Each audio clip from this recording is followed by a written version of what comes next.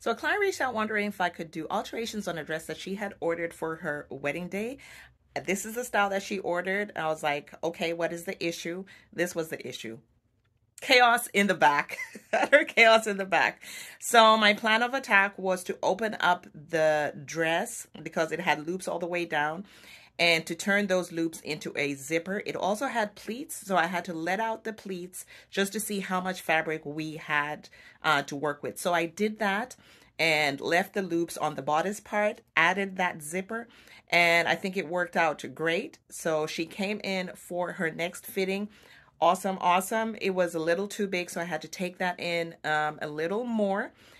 She wanted a rhinestone belt added to her dress, and so this is her in her final fitting. This is the best picture that she sent for her wedding day, but it worked out great. She was extremely happy, and we got the dress from this to this.